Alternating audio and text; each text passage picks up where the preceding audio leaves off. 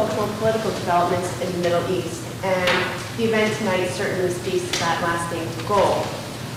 The International Prize for Arabic Fiction is an annual literary prize run with the support of the Booker Prize Foundation in London and the Emirates Foundation in Abu Dhabi. The prize was launched in Abu Dhabi in April of 2007 with the intention to address the limited international availability of high-quality Arab fiction and to open it Thank you. Ultimately lead to the um, translation of these books um, to increase their international readership. In March of 2011, the fourth annual prize was awarded to two authors, the Saudi novelist Raja Alem and our featured guest this even, evening, Mohammed Achaari. Mr. Achaari studied law at Muhammad V University in Rabat. He started his literary career with a short story, Waiting for Death of the Father, in 1967, followed by his first collection of poetry, Neighing of the Wounded Horse, published in 1978. Mr. Achaari has since published 10 collections of poetry, two novels, and one collection of short stories. His first novel, South of the Soul, received great acclaim, and his most recent book is the cop- one of the key topics of discussion this evening, The Arch and the Butterfly, which was the joint winner of the um, Prize for Arabic Fiction. In addition to his career as a poet and author, Mr. Achaari has had a successful political career. In 1997, he was elected as a councillor for the Rabat Agdal district, then as a parliamentary deputy to Rabat and later Meknes Zarhoun. In 1998, he became Minister of Culture and went on to serve as Minister of Culture and of Communications both in 2000 and from 2002 to 2007. He has twice been elected president of the Moroccan Union of Writers. I'm also pleased to introduce NYU's Professor Sinan Antoon, who has kindly agreed to lead the discussion this evening. Professor Antoon is an assistant professor in the Gallatin School of Individualized Study, where he teaches and researches pre-modern Arabo-Islamic culture and contemporary Arab culture and politics. His poems and essays have been widely published in periodicals included in The Nation, Middle East Report, Journal of Palestine Studies, and World Literature. Today, World Literature Day, sorry about that. In 2007, he published a collection of poems, The Baghdad Blues, and a novel, and I apologize if I pronounce this incorrectly, Ijam, an Iraqi Rhapsody. His co-translation of Mahmoud Darwish's poetry was nominated for the PEN Prize for Translation in 2004, and his translation of Darwish's last prose book, In the Presence of Absence, is forthcoming next month. Um, he returned to his native Baghdad in 2003 as a member of Intercounter Productions to co-direct a documentary about Baghdad, about the lives of Iraqis in a post-Saddam occupied Iraq. And without further ado, I'd like to turn the program over to our guests. شكرا جزيلا واهلا وسهلا بكم آه، واهلا وسهلا بضيفنا الذي اتشرف في ان احاوره آم، قبل الدخول في تفاصيل روايتك الاخيره ال- هاي الروايه بالمناسبه القرص ال- This is the latest uh, novel. Before talking about it and talking to you as a novelist, you are a poet and you have an important uh, oeuvre in poetry that dates back to the 70s, and you've only entered the realm of novel writing in 96 with The South of the Soul. فهل كان الراوي دائما هناك ينتظر في الكواليس Was the poet in you lurking always in the background waiting, or was the uh, obsession of uh, narration uh, later development? جاء عدد مهم من كبار الشعراء العرب إلى كتابة الرواية في العقدين الأخيرين And in that regard, what do you think of this phenomenon of a number of Arab uh, novelists moving towards, um, uh, a, a number of Arab uh, poets moving towards novel writing in the last two decades. It's hard to explain how I moved from short story to um, novel to poetry to essay writing to a political essay.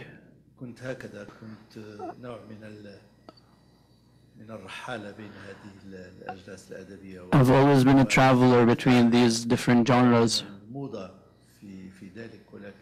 There's no trend following in, in, on my part in that regard. But I, I was always at ease moving between these diff different genres. And as for poetry, I, I've never left it.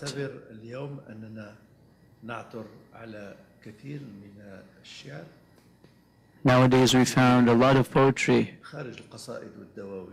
outside poems and collected poetry books. We find a lot of poetry and in art and cinema, perhaps even more than we find it in um, collected poetry books.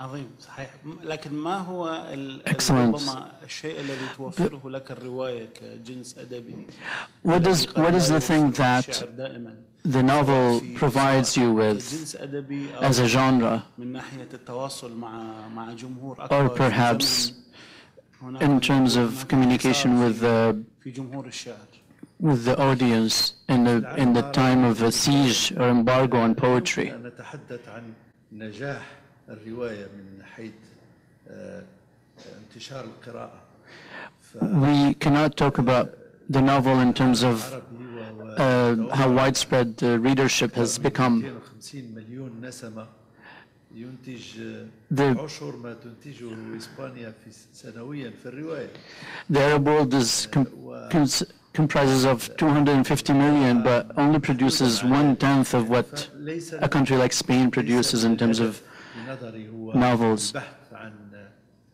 The goal is not to uh, find as many uh, readers as possible, but there is a need culturally to write the novel because it's the key to understand societies and the transformations within these societies.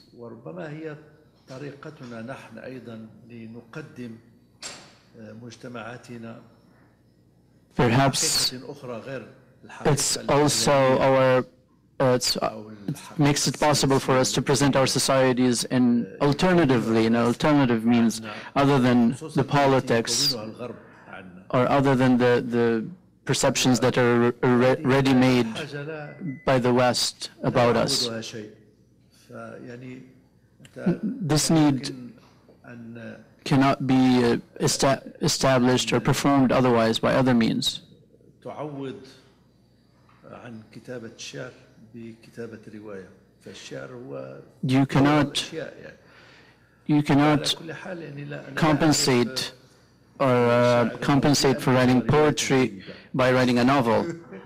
And I I do not know of a good poet that did not uh, that wrote a bad novel.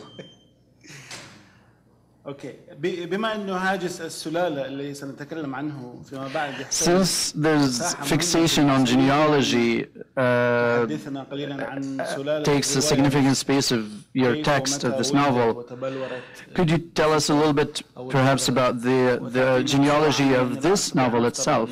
How and when and قرأ- بعض الناس uh, قرأوا was it born and how did the إذا سمحت idea crystallized?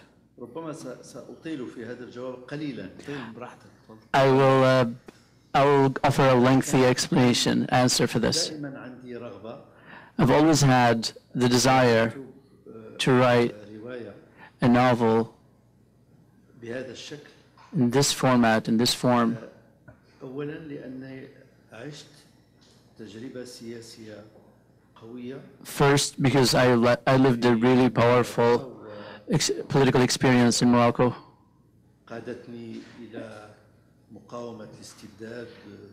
And it led me to fighting oppression and imprisonment.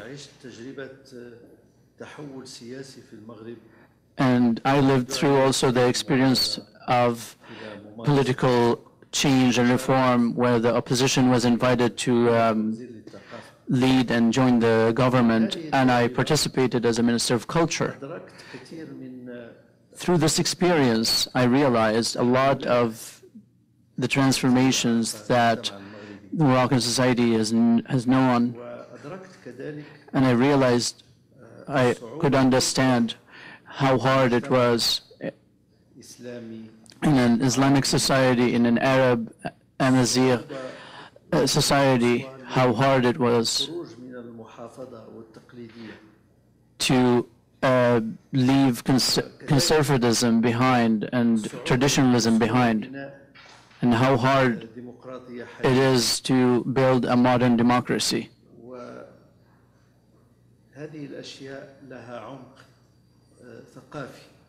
These things have a, a cultural dimension.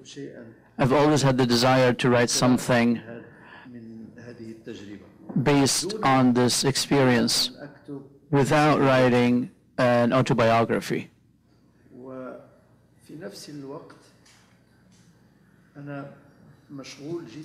At the same time, I'm very preoccupied with the transformation of places. And I, I consider places as full entities, full beings, not mere objects I, I see in places a true reflection, true reflection of our transformation. There's an example for this. Many people from outside from the outside how Islamic radicalism developed in some very established houses or, or, or very well-established cities.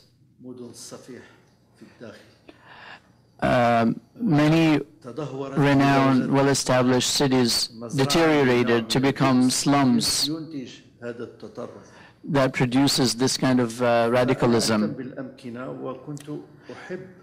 So I'm very interested in places as such. And I always wanted to write a, a, a novel that can present some uh, places and the, how they transformed.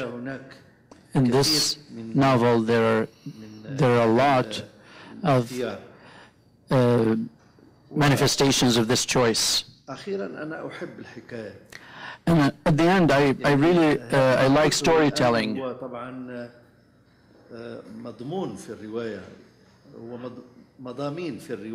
What I just talked about is encoded within the novel, but what's more important is the narration, the narrative and the, the plot and the storytelling.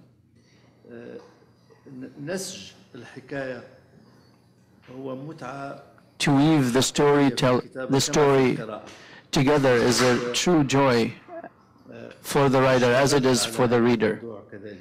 So I, I invested a lot of effort into that. منذ فازت آه، روايتي بجائزة البوكر Since my novel, ever since my novel won the Arab Booker Award, كثيرا I read and I hear a lot that I, الإرهاب I wrote a novel about terrorism. وأنا لم أكتب رواية عن الإرهاب أنا But انطلقت I did not write a novel about terrorism. I من الممكن started off جداً أن تقع from a story that is very likely to happen, even if it was just a story, an imagined story. A man opened his door one day and finds under the door a letter saying that his son, who's about 20 years of age, studying in one of the big engineering schools in France, has just been killed with the Taliban's. معارك أفغانستان in Afghanistan. وهذا الأب This father, اليساري leftist journalist father, progressive father, ي- يفاجأ بأنه ولد is surprised that he has given birth to ولم this ينتبه أبدا beast.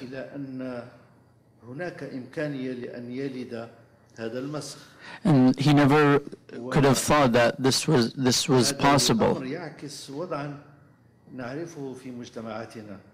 And this reflects something that we know about our society. Our fathers and mothers were always scared for the safety of their uh, offspring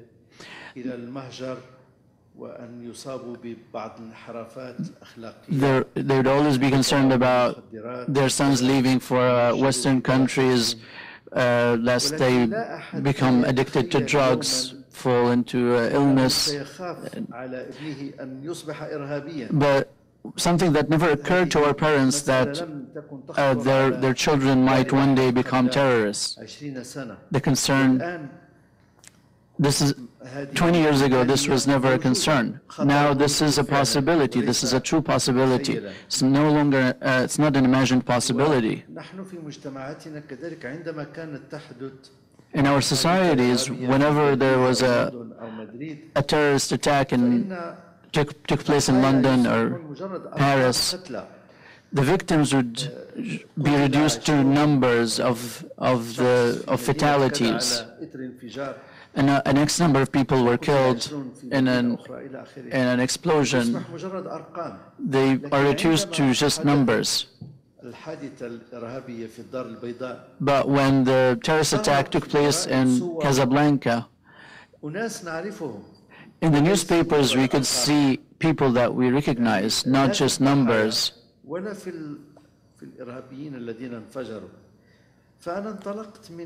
Of the victims and so I, I started off with this, this juncture that uh, terrorism has planted in our society to present the readers with a Morocco that has life. Because the most dangerous about the most dangerous thing about terrorism is that it doesn't kill people in the, uh, in the attack itself but it, it kills any possibility for us to imagine ourselves outside the realm of fear.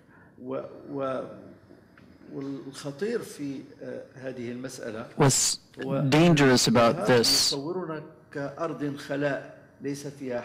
Terrorism uh, uh, paints a picture of us that we are a, we live in a devoid in a land devoid of anything, arid land, a land that is full of the fear of terrorism, the production of terrorism, and the radicalism that rejects the other. And I wanted to write something that would respond to this image that there is true life that terrorism could not stop life in our societies. And in reality, I, th I think I wrote a novel about love, and this is why I get really upset when they focus on the terrorism part. Since we are talking about love now,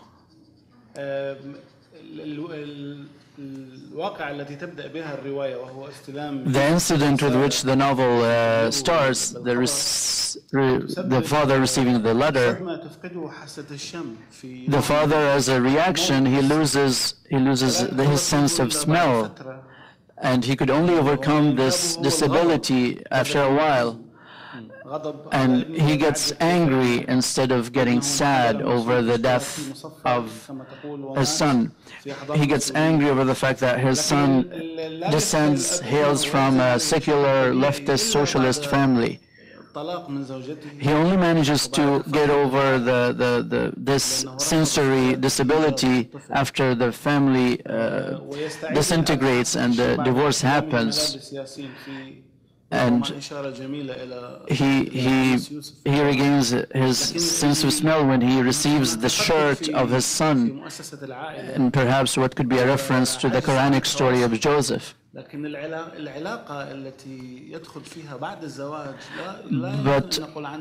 the relationship in which he enters after marriage we cannot perceive it we can see it as a healthy one it's it's it's still uh, uh he decides ultimately to adopt a daughter in this new relationship. is could it perhaps we could talk about the the terrorism and its effect on sensory uh, senses and violence. I don't think that anything anything worse than what happened to uh, the narrator could happen without without everything around this person collapsing.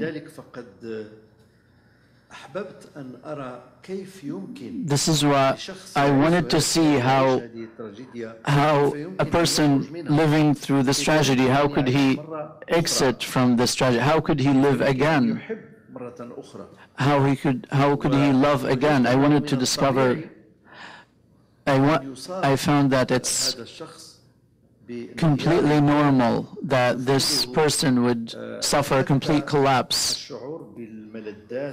that he would it would it would cause him leaving uh, uh, not being able to uh, feel beauty or any uh, pleasurable uh, sensation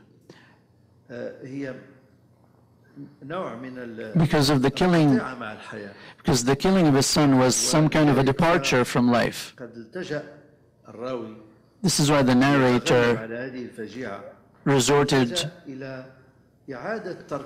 to reconstructing his life again through the story. He went back to the story of his German mother who committed suicide and left him with this puzzle. And he went back to the story of his father who lived in his who lived in Germany, and he came back trying to build something new. And after he failed, he became a blind guide in, a, in an archaeological town. And the story of his friend Ahmed, the leftist, who became, after years of imprisonment, a real estate agent and his gay lawyer friend who lives in Casablanca despite his uh, homosexuality, and who is socially married uh, to his uh, ex's wife and he adopts her, her two sons. And the new love of the narrator, Layla, who, through whom he tries to reconstruct uh, his, his life. The narrator resorted to reconstructing his life before us. The same way his father uh, deconstructs and reconstructs the mosaic in the Roman uh, archaeological town. He also resorted to constructing this large mosaic. And through doing this, he relearned life. He learned how to love again, how to make some small dreams come true, like building a house he dreamed of ever since he was a young man, traveling to Cuba as he always wanted. Despite the tragedy that caused a great collapse in his character and his life, despite all of this, he manages to learn life anew. I think what I tried to do in, in this, through this novel is that we can, through love and friendship through life itself. to go back to life. regardless of uh, the extent of the violence through which we, uh, we live. From another perspective, it seems that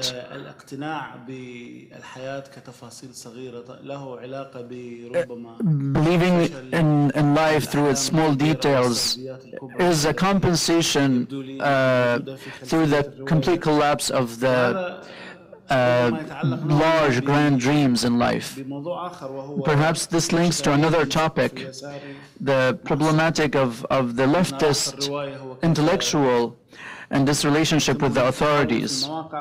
We see how they change position and the revolutionary, the ex-revolutionary becomes a successful businessman, a successful... Uh, Yusuf uh, says in page 81, I reconcile myself to despair those who have unlimited hopes or dreams make me feel more desperate than those who are truly desperate.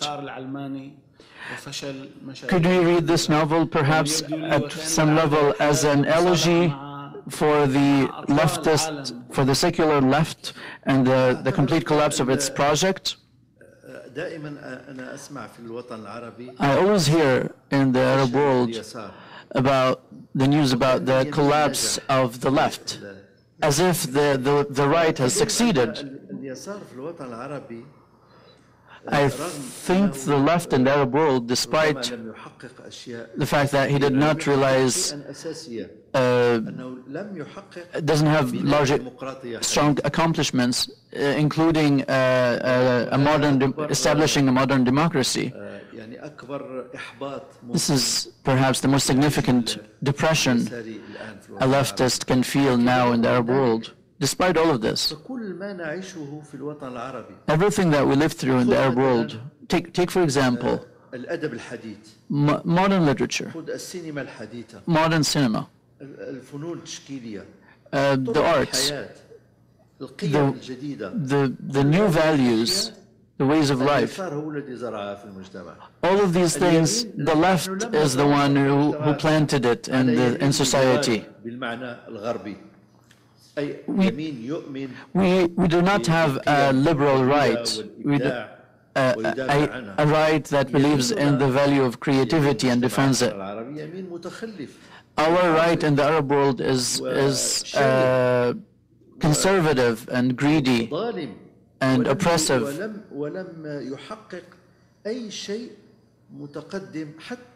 Has not offered anything, any advanced, any uh, any advanced contribution, even at the at the level of economy. Even in the he did not it did not build a private sector that can survive. The Arab right the Arab right bourgeoisie has lived through, has survived through manipulation and bribery, and this is how it managed to uh, establish its um, economic projects. This is why when I talk about the crisis of the Arab intellectual, the internal crisis, it's I mean, to talk about the, the, how hard it is to, uh, to change and to transform in Arab society.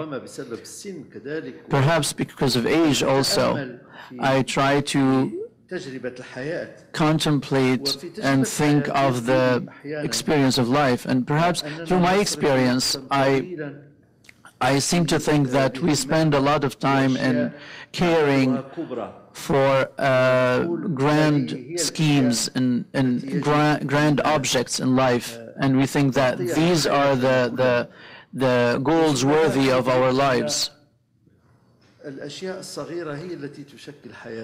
Whereas the small things are the, the our lives are constituted of small things, like raising a child أو تذهب أو تحقق مطلبا صغيرا أن تمارس الرياضة أن Perhaps- تستطيع أن تتقن رقص التانجو مثلا uh, play a sport, or learn how to dance أشياء tango. بسيطة ولكن Simple things. ول- ولكنك تتصور دائما أن الحياة لا تصنعها إلا الأشياء الكبرى But we, we are fooled to always think that life can only be made with the grand وفي uh, أحيان كثيرة things like revolutions, and, and whereas life is controlled by the smallest of details. you want to care for yourself through the small details. Perhaps for a, a certain class, yes, of course. This is not a specifically Moroccan experience. This is a global uh, uh, phenomenon. How reclusive the intellectuals of a certain age have grown and they've turned away from the big projects to the small details. For example, the character of Ahmed is a, is a, is a real character, the, the leftist uh, intellectual, and whom changed camps and became part of a mafia.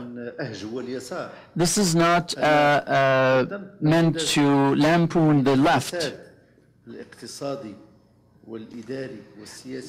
I'm talking about the corruption that is rampant in my country, political and cultural.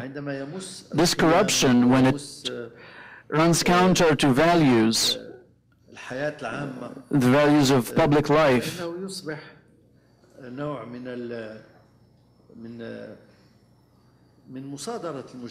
it becomes a hijacking of society. The title of the novel reflects this. The, ar the arch, as you know, is in the novel is a dream for the killed child. There's, there's a river that runs between Rabat and a small city.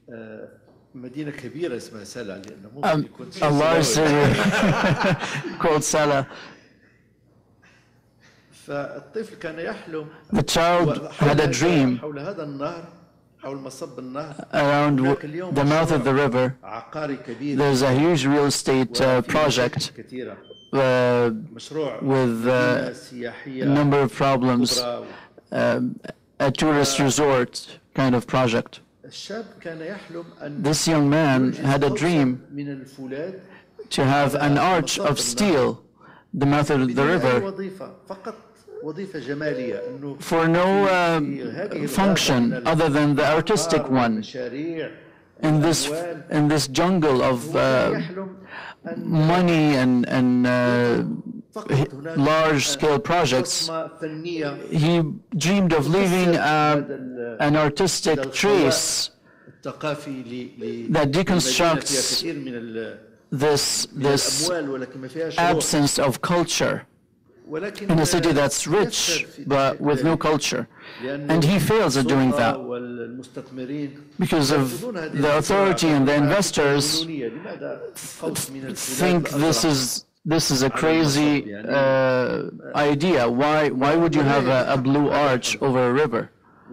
And this dream doesn't come true ultimately. The real state can impose on, on the, the the committee to for the preservation of, of archaeology. He can impose his opinion in establishing and erecting an ugly building that would break the beauty of the city and the continuity of the scenery of the city. And he could only accomplish such a feat because he could bribe so many people. وأن يغري كثير من ذوي النفوذ بشقق في هذه And he can offer uh, apartments in this in this building for the, the influential officers officers. فإنها أحلام فولاذية صلبة تظل دائما These are still, steel dreams, and dreams will never stop. And ugly things, despite the fact that they're made out of cement, they will always remain fragile because they could all they could fall and at any point, symbolically, the same way they fell in Cairo in Tunisia, in Yemen, the way they will fall in Syria, nor they will always they will fall in uh, a number of uh, countries around the world. In this part of the world, we have uh, solid dreams, dreams of steel. Some some of them come uh, to materialize, but uh, the structure is, is uh, fragile. The narration is divided between Yusuf and his only son Yasin and the father. However, for the son Yasin, he, he is only there as, a, as an apparition, as a ghost. Which, which makes which makes the reader wants to know, know more about this son and his fatal decision and to get deeper into his character. Why did you choose this? He was not. Yasin was only a, a key to the novel.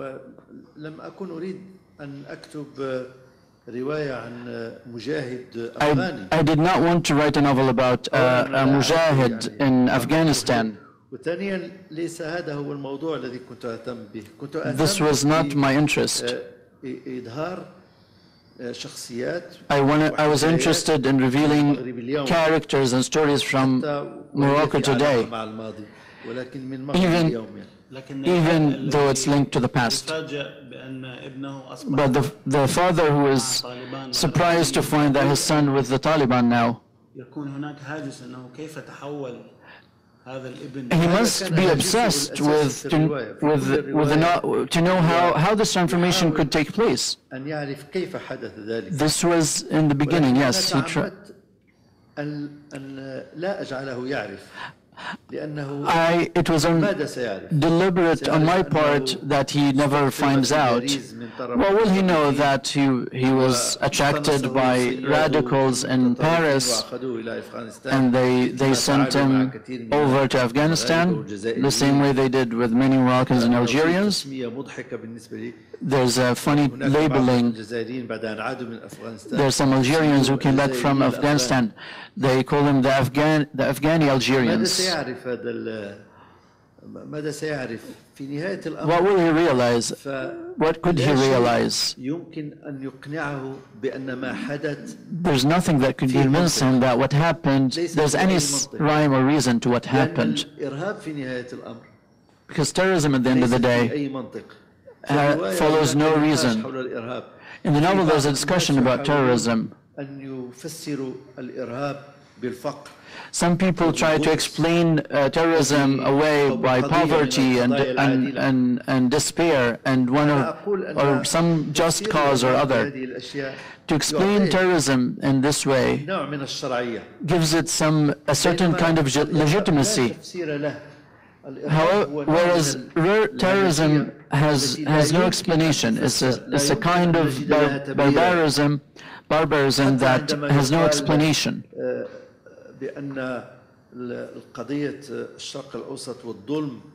The, the Middle East problem and the, the Israeli oppression is the, is the root of, of terrorism. Even when you say this, we cannot understand that. We cannot understand the, the terrorist attacks, the Israeli attacks, by this logic.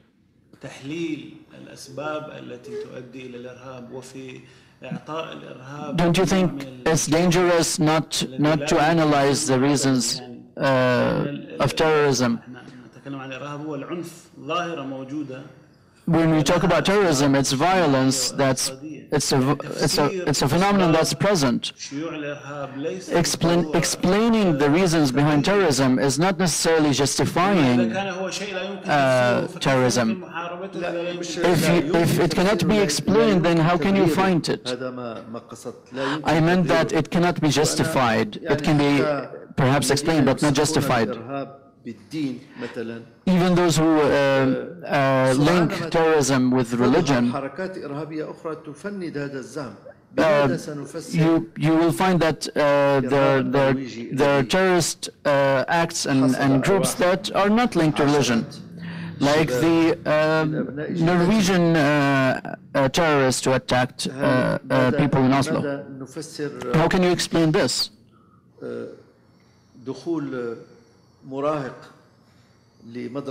How can you explain a, a school shooting?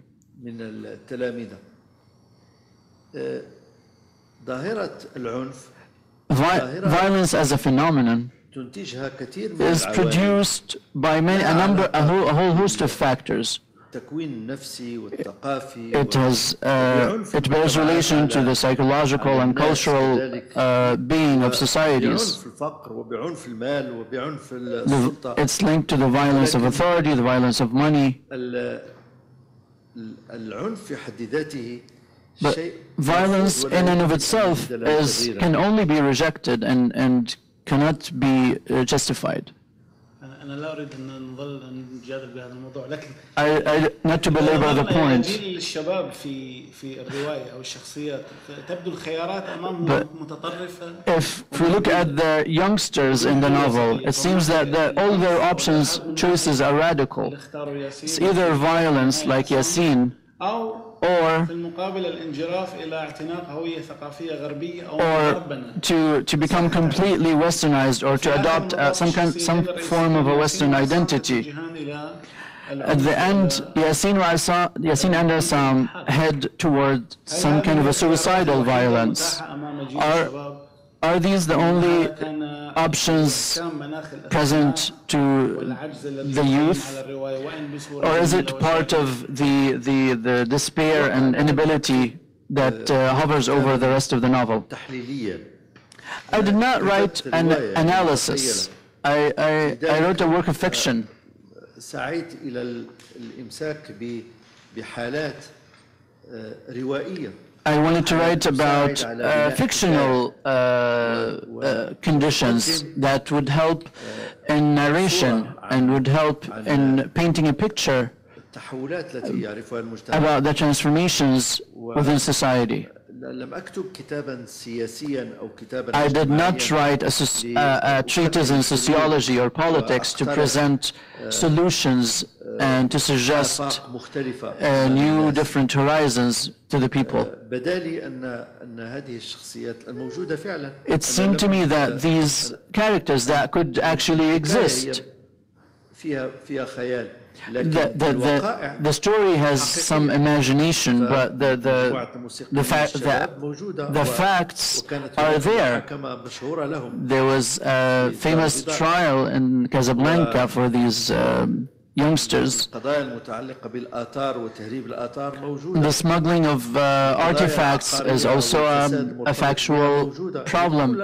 Corruption is uh, they're, all facts of life. And I worked personally on some of the some of these files, and I dug out some of uh, these cases and used them in my novel.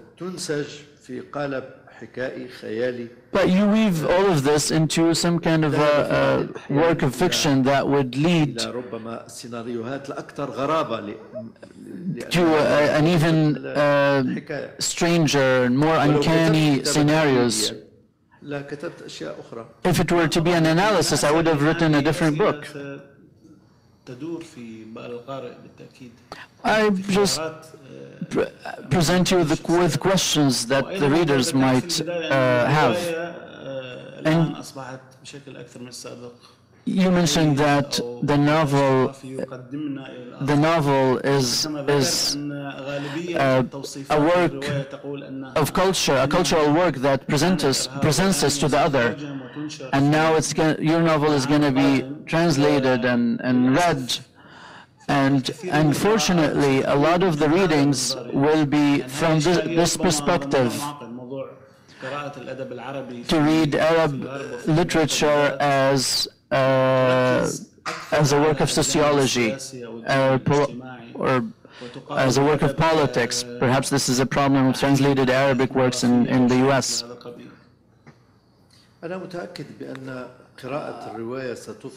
I am sure that reading the novel would lead to a different understanding other than the one you present.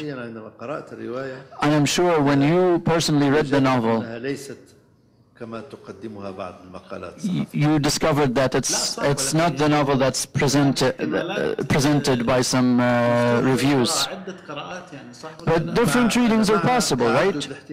I am I am with the multiplicity of readings, and not to imprison the the work of fiction in one within the confines of one reading. But it's a matter of fact that certain characters have very limited potential in the, in the novel.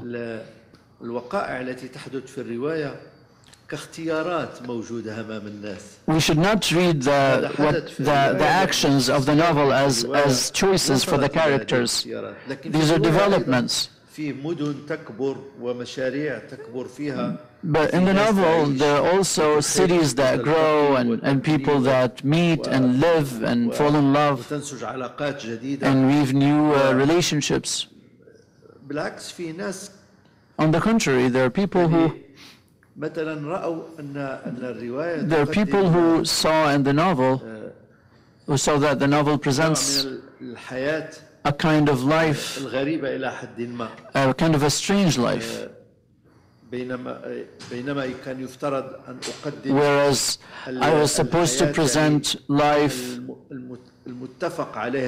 the, the, the, the socially agreed upon version of life. There are religious people, there, there are conservative people, traditional. with a stable family life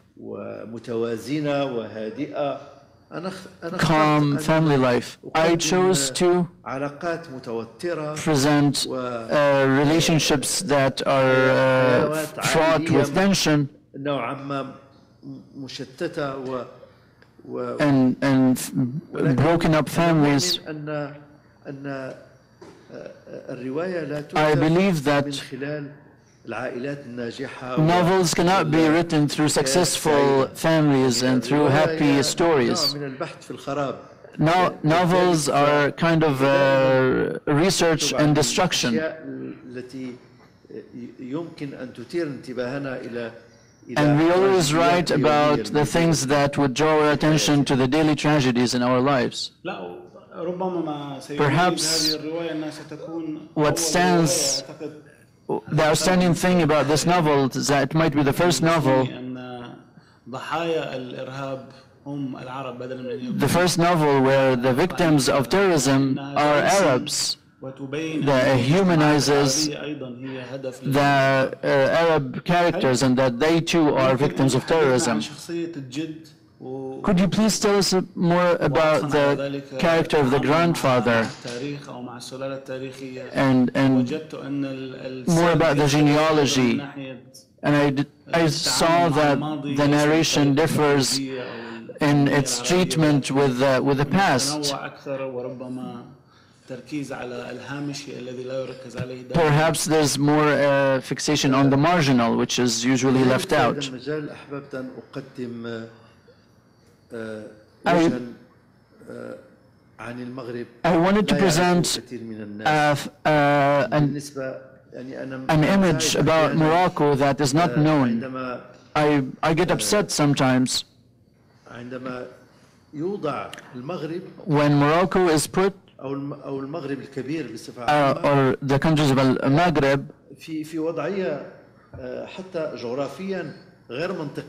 in a, in a geographical condition that doesn't make sense. We are in the west of the Arab world, and the west sometimes puts us uh, in the same basket as the East, and we're all one East. And we bear no relation to the Levant, to the We have, we, of course, we have the Arab culture. عندنا كذلك ثقافة أمازيغية We also have the Amazighi cu- culture. We have Jews, Christians, but we have more Jews. الحضارة اليهودية The Jewish culture is more pronounced in Morocco وال- والأندلس and Al-Andalus. في في أندلسية. عندما- آه، عندما آه، طردت محاكم التفتيش when the Inquisition expelled the Arabs and Jews of Andalusia, Morocco was their destination, and Morocco received all of them. And through their relocation into Morocco, we, we had the Andalusian uh, values in many of Moroccan cities. So much so to the extent that Rabat still has the names of Andalusians eight, year, eight centuries. The family names, like all the names being listed, that originate in Andalusia are still prominent families in, in Rabat until today.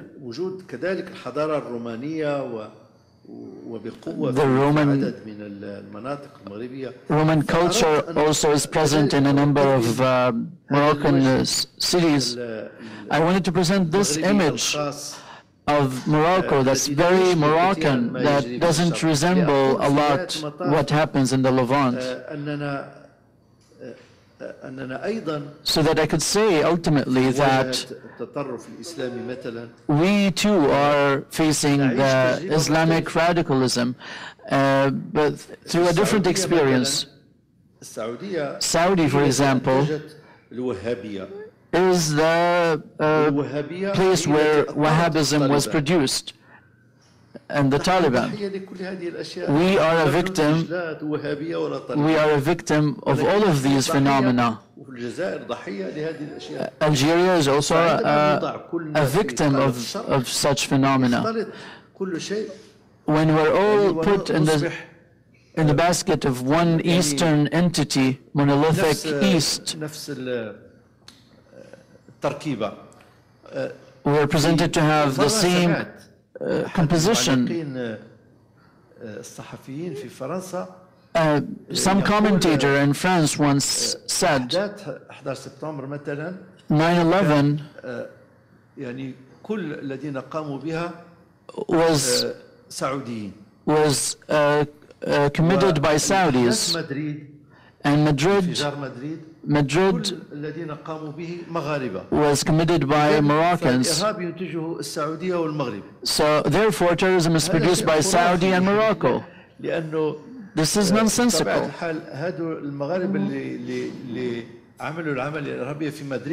The Moroccans who committed the attacks in Madrid belong to Al Qaeda, which in turn was produced by Saudi Wahhabism, which was linked to Taliban through uh, American help and Saudi financing.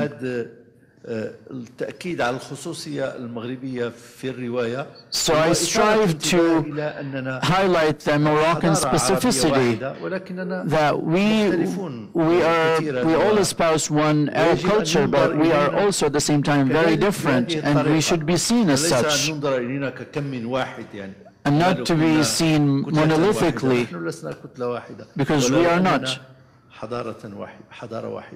even though we, we form one civilization. Where do you situate the, question, the Amazighi question?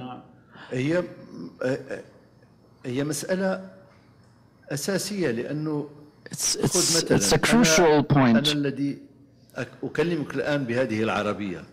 I talk to you in this Arabic, but my mother tongue is Tamazigh, وأنا أول Amazigh. علاقة كانت لي مع العربية كانت لي My first مباشرة relationship with مع Arabic as a القرآن. language was directly with the القرآن هو أول Quran. عربية عرفتها في حياتي The first Arabic I knew I knew in my life was through the Quran, but not through life, not through emotions, not through الأكل والشرب uh, واللعب eating, not through playing. لكن مباشرة في It النص was, it was المقدس directly with the holy text. و ولذلك لا لا يمكن أن أعتبر هذا الوضع وضعا عاديا مشابها Therefore, I cannot see this as, as a normal condition عربي من الجزيرة العربية أو من or similar to an Arab from Saudi and the way they experience الشعور Arabic. الأمازيغية or حتى Egypt. ونحن لا نكتب بها بل نكتب Even though we بالعربية don't يعني write in Amazighi language, the Amazighi identity is فهو شعور قوي very جداً. strong.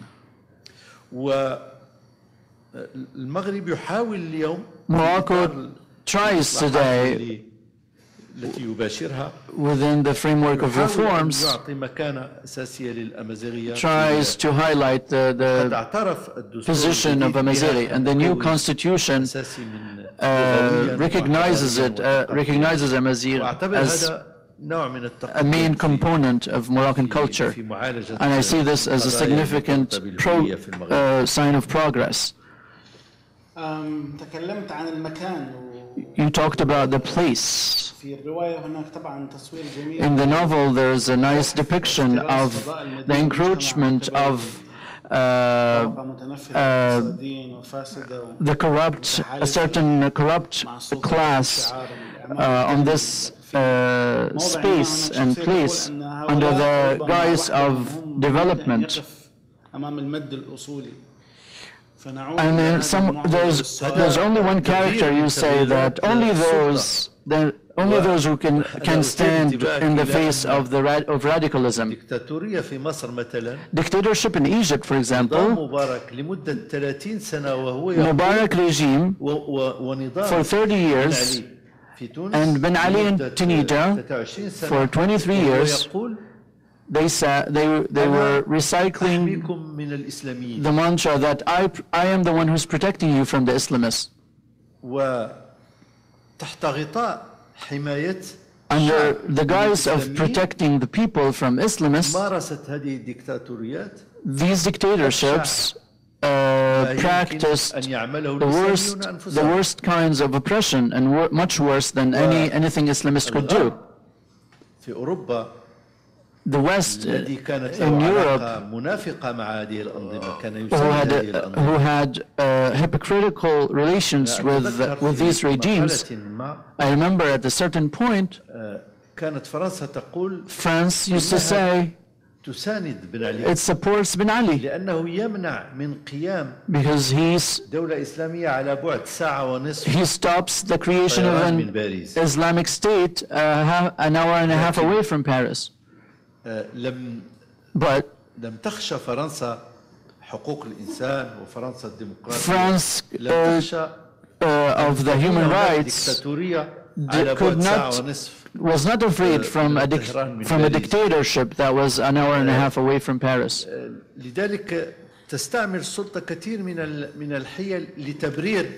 Because this is why author authorities in general they use a lot of uh, lies and pretexts to to uh, justify its its despotism.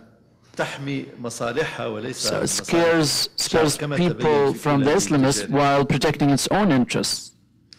As it's clear now. In the, in the, in the novel, there's a, a nice depiction of the pre-revolutionary uh, uh, condition ك- كروائي وثم ك So I wanna, I wanna ask you, what's the, how, how did the revolutions affect you as a novelist and as a politician? أن الاختناق الموجود في What- في مجتمعاتنا What I write about in the novel in terms of أكدت- suffocation آه، الثورات التي was uh, آه، جاءت validated لتقول by the ليس- revolutions ليس هناك that came to say من اختيار آخر there is no other option. There is no other way before people other than to topple these, these regimes and to detonate the whole condition that was maintained through one lie, the lie of uh, abandoning democracy because, because these states were busy fighting Israel while they they did not do anything about fighting Israel, or that they were protecting people from Islamists while doing nothing about protecting people. Right, they're busy uh, with the economic development while doing nothing about economic development. All of this was uh, laid bare. All international reports all pointed towards about Tunisia pointed towards that it was it was successful a successful model in terms of economy and only only to realize later that corruption was thriving under the police state.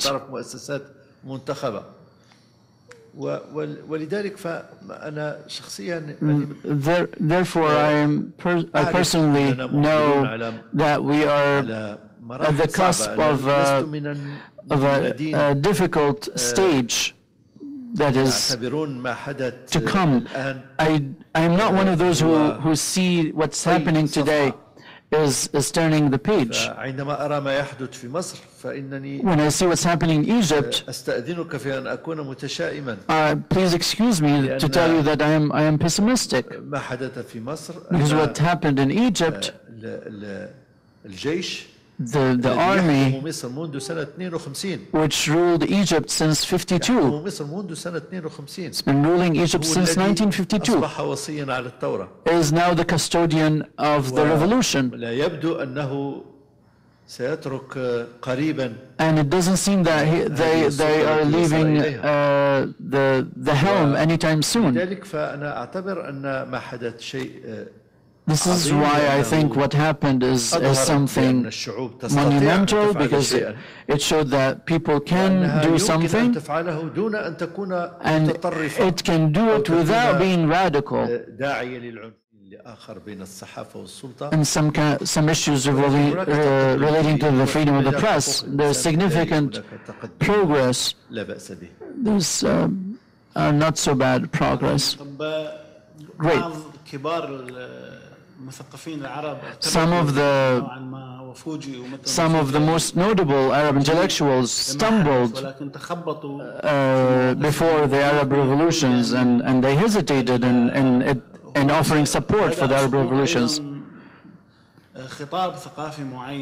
And with the revolutions, perhaps there, the, it, it, uh, it ushered, the revolutions ushered the, the collapse of a certain cultural discourse لاسباب معقده فما هو that تأثير uh, كل هذه الاحداث was على in- in, حياة um, المثقفين بالسلطه that was in alliance with the, with the, with the authorities.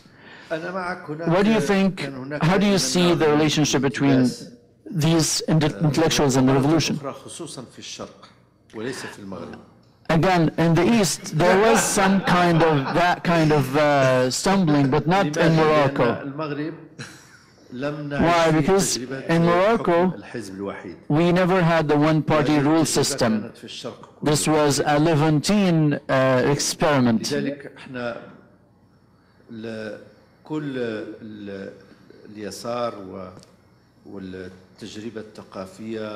The cultural experience in the left in Morocco and the media experiences we never had, for example, publications for the uh, ruling party. So you don't see Libya as part of the Maghreb. So I see Libya as closer to the east. So the east is retarded. And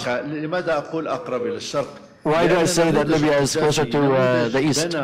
بنى هويته Because- السياسية على الناصرية because the model of وعلى- Gaddafi was على- Nasser على اقتراب من ناصر and وناصر kept a في close الأيام relationship with الأخيرة Nasser. قدم And القذافي Nasser in كخلف his له في l- last days, he presented Gaddafi as his successor in the Arab world. ليس الجغرافيا ولكن نموذج سياسي I'm talking ونموذج maybe شرقي. about the political models, not the geography, الالتباس أن which is uh, an عدد Eastern كبير من model. As for the confusion relating to the, a lot of Arab intellectuals in Egypt and Syria and Libya, they had close ties and direct ties with the uh, state institutions. In Egypt, the public sector, the cultural public sector, was the basin uh, that harbored all of Egyptian intellectuals.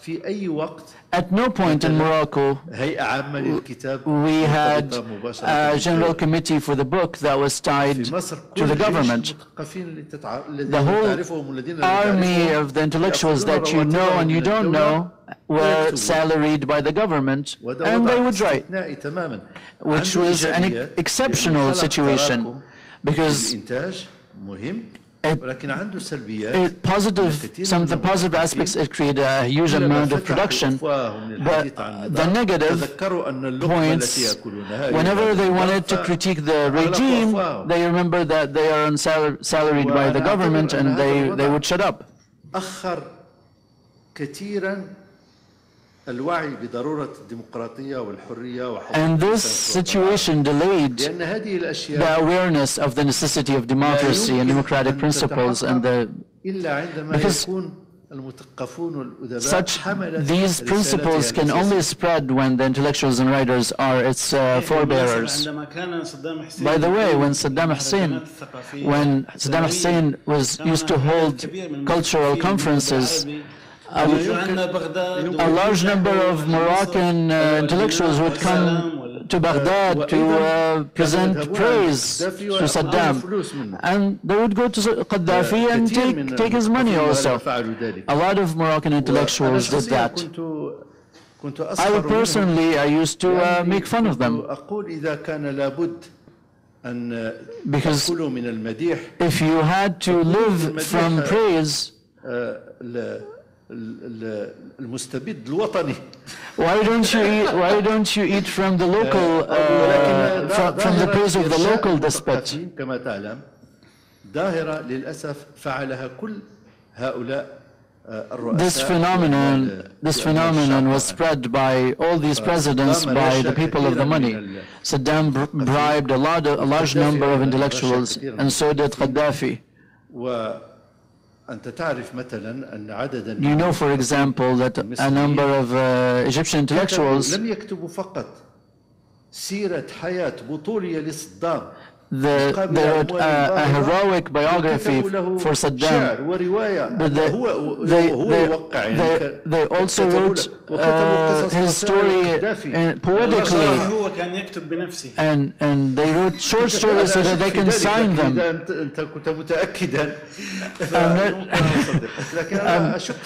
Gaddafi wrote his own stories. But, I doubt that Gaddafi could write more than his طب ما name. هو يعني ممكن دوخنا ما هو المشروع ال- ال- الكتابي القادم؟ What is your next project uh, on the level of the هل novel? مشروع هل بدأت مشروع؟ Have you started uh, a new work? هناك رواية Yes, there's a novel in the لست- works. لا لا لست كاتبا محترفا بالمعنى ال- I am not a professional uh, الغربي writer in the Western sense of the word. أنا بطيء جدا في الكتابة I am very slow. uh, I'm a very slow writer. And I prefer to take my full time. أنا كنت سعيدا أن أن I was روايتي في خلال سنة glad that my وصلت novel إلى within الطبعة one year الرابعة الآن is in its fourth edition. Congrats. But, but I am still struggling with my publisher who demands a new novel every six months. But هل تريد أن أن تفشي موضوع الرواية ولا لسه راح يبقى سر؟ is, is it a secret or you're happy to uh, share? إذا تكلمت عنها لن إذا It's, أكتبها it's bad omen. أنا Uh, you متشائم find جيد. bad, bad, bad omen in many things. I'm a good طب هل pessimist. عندك طقوس خاصة في بالنسبة للكتابة هل هي فعل يومي أم كيف تتعامل مع الموضوع؟ Is it, how do you write? Do you write daily or how, what's the, your ritual? فعل يومي حتى ولو لم أكتب It's a daily act even if I didn't write. أفكر أو أقرأ كثيرا أيضا و... و... ويسمح لي I هذا think and I التنقل. read a بعد lot الرواية and I move around a lot and كتبت this, آه، كتاب شعري after the novel I wrote a book of poetry that was uh, published uh, two months كتبت ago. كتابين شعريين I wrote two uh, novels, two, two books of poetry, one a year ago, one two months ago. وكتبت مسرحية س... ستنتج في And I, السنة المقبلة and I wrote a play that will be produced next year. من أنت؟ It's called Who Are You?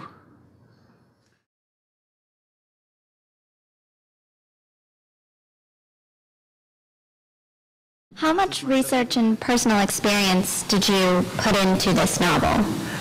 كم كم أخذت هذه الرواية من منك بخ- من ناحية البحث؟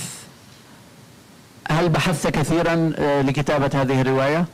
دور التجربة الشخصية ودور التجربة الشخصية في تجربتك الشخصية في كتابة هذه الرواية؟ آه، من ناحية العمل على الرواية تتطلب مني حوالي أربع سنوات It took four years uh, to write the novel, for me to work on the novel. وبخصوص التجربة as far as the personal experience is, is concerned.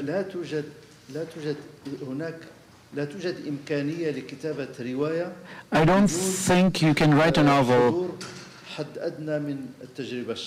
without a minimum a minimal amount of personal experience. Those who, who claim That everything they write is 100% fiction are, are lying either a lot or a little. آه، لكن ليس ه- معنى هذا أنه That does not mean that all, نوع every, من السيرة every, الذاتية. every novel is a, is a disguised autobiography. أنا أنا مثلا في كثير من الأشياء في الرواية my novels are full of uh, contemplation, for example, contemplation in politics and love and death and aesthetics about cities. These are my personal contemplations that I, I hide behind certain characters. والأمكنة كذلك أمكنة As for the places, شخصية لأنني are, are آه، personal places. إما عشت Two. فيها أو كانت لي I معها either تجربة lived قوية. there or I had a profound experience with it. ولكن ما حدث للشخصيات لم يحدث لي لحسن الحظ But what happened to the characters, luckily, unfortunately, did not happen with me. طيب. مرحبا كيف استفدت من تجربتك الشعرية في كتابة الروايات؟ و يعني يقودني هذا السؤال إلى طرح سؤال آخر إنه يعني هل تظن أن يعني آه، في الوقت الحاضر يعني الرواية حلت محل الشعر؟ Okay, a translation. The question is, uh, how did uh, your poetry influence uh, your, ri- your uh, novel writing? And this lead, leads me to another question: the, the place of the novel uh, uh, versus the versus poetry in, in modern Arabic literature.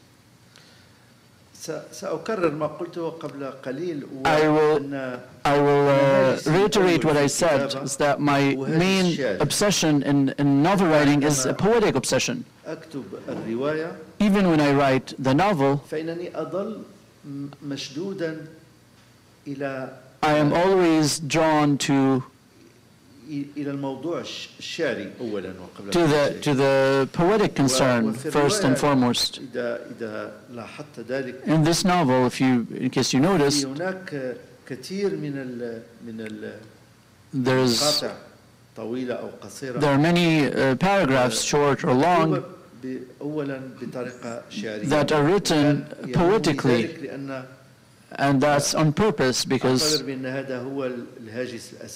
أعتبر بأن هذا هو الهاجس الأساسي because I consider this to be my main concern. أما هل س س ستعوض الرواية الشعر فأنا أعتقد أن لا شيء أبدا يمكن أن يعوض As for poetry and, and, and novels, I don't think anyone can make up for الشعر poetry. هو حاضر في كل في كل شيء Poetry is الموسيقى present in everything, in music, الحكاية في in narration, السينما في in cinema, الرسم in painting. أظن حتى كل الناس يستطيعون بطريقة أو بأخرى آه، إبداع شيء شعري I think anyone can, can uh, be creative enough to produce something poetic. شعريا. Even silence can be ولذلك لا poetic شيء يمكن أن sometimes. يعوضه لأنه جوهري And, and therefore, it's, it's such an essential ingredient of our life that it cannot be compensated for, it cannot be replaced. حلو هذا مسك الختام أظن في في سؤال كمان I don't know much about you, but uh, I'm, I'm watching the writer and politician. Now, I was, uh, I'm a writer, and I thought about being a politician. And after meeting very famous politicians, uh, I decided that I I wouldn't be effective if I were a politician. I'm more effective as a writer and going to dinner true. And I won't get into the details because they are politicians, the real ones. But what I want to know is like, uh, did the writing come first or did you be like a politician and then you started writing? And like I said, I don't know anything about you, so I don't know if you're like a real politician and, and, and, and uh, uh, you know, should be bashing you or what's going on. Or if you're a real writer and you're kind of flirting with like what we would call some light uh, a politician uh, uh, uh, position, like comptroller or something. Or are you the real deal? What's going on? يعني أنا أتسلى بهما معا I, I dabble with uh, I dabble with them both. I dabble with both of them, b- the writing and, and politics. لكن but I do not consider myself to be a professional uh, career uh, politician.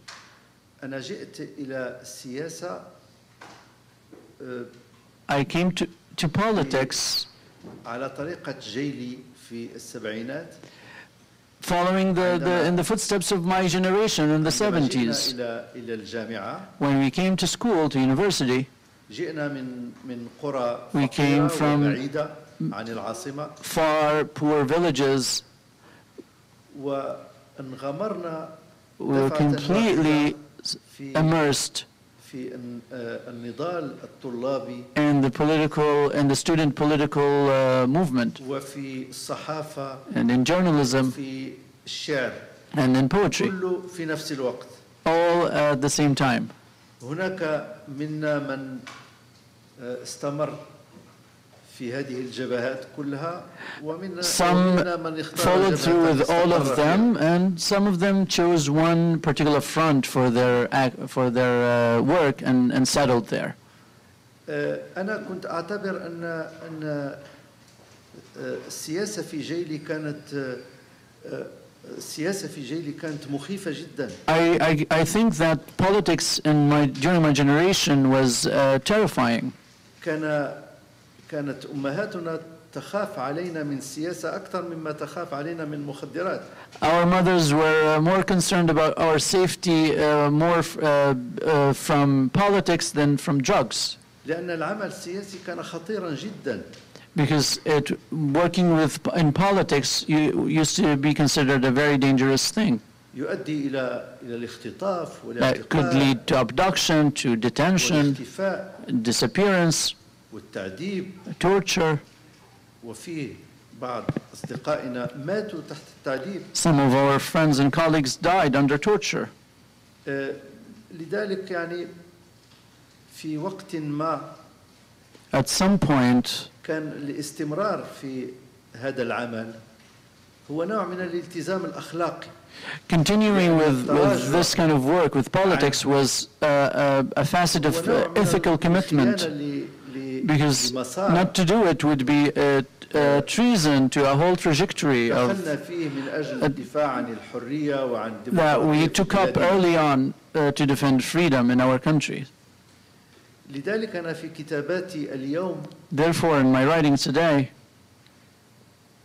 هناك نوع من ال- آه، الإحساس بالإحباط there's certain sense, sense of desperation هذا المعنى because this, this meaning to politics is completely overturned. Politics became, is آه، obtaining a, حصول على a higher امتيازات. up position to get privileges. وهذا شيء آه، آه، آه، أعتبره Something I نوع من consider ال- من التراجع عن a آه، kind of um, عن المعنى النبيل withdrawing للسياسة. from a nobler sense, a nobler meaning of, of politics. ولهذا فأنا أكثر إخلاصا للكتابة من العمل السياسي And this is why I'm more faithful to writing than uh, في العمل politics. السياسي أقوم أكثر أكثر شيء أقوم به هو هو الشغب على Uh, على المستقرين في العمل most of what I do politically is, is uh, to cause uh, trouble for those who are stable, who lead stable careers in politics. وهذا لا يمنعني من حضور العشاءات الكتاب وعشاءات السياسيين Which of course doesn't prevent me from attending the dinners of politicians and, and, and, and people in power. سؤال تفضل أم، قلت قبل قليل أن الشعر يمكن وجوده في كل شيء أو تقريبا في كل شيء You في said الصمت earlier وفي that you الرواية can find وفي poetry in anything, in التشكيل silence, وفي in, po- الموسيقى. in, in cinema and فأتساءل music. سؤالا بسيط هل حتى يمكن في التكنولوجيا I حتى في wonder, التكنولوجيا. e- even in technology, فأتساءل هل يمكنك أن تعطينا تعريفا even in لهذه technology. الكلمة الشعر ما هو الشعر؟ Uh, So the question is, can you, can you define poetry for us since you يعني find يمكن it وجوده في ever كل so شيء. ubiquitous? ربما لهذا من الصعب أن نعرفه ببساطة Perhaps this is why it's hard, so hard to define. It's not a singular thing, otherwise it would have been easy to define. In general, I, poetry is the production of aesthetics in forms, production of beauty in, in forms and, and images قيم in values, آه، وفي في الالتقاط الأشياء المفارقة وال والأشياء المثيرة to notice ironies التي لا يستطيع كل الناس التقاطها that perhaps are not uh, uh, أظن noticeable for everyone. آه، إلى أشياء لا نتوقعها to pay attention to things that we do not uh, uh, expect. This is what summarizes at the end uh, poetry. To read a poem and to be surprised هذا الشعر يقول لك أشياء ربما كنت تعرفها لكن that this يقولها لك poem بكلمات might be telling you something you, you already knew, but you're surprised that these words would carry a meaning that you are seeing for the first time. ولذلك فأظن أن أن الشعر هو This is why I think that poetry is, ممارسة تفاعلية is an وليس interactive مسألة process. is not reserved to the poet and what he writes. It's, its domain is, is the domain of the, the poet and the reader. There has to be a thread between he who writes and he who reads that, that writing. Mahmoud Darwish was once asked, what, what is poetry? He said, and he answered, if I knew, I would have written it all and, and be done with it.